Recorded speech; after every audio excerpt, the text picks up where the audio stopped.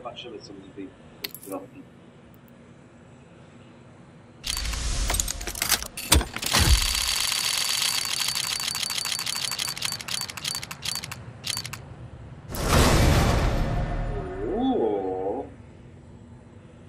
Ładno. O, ile ona kosztuje? Zobaczę.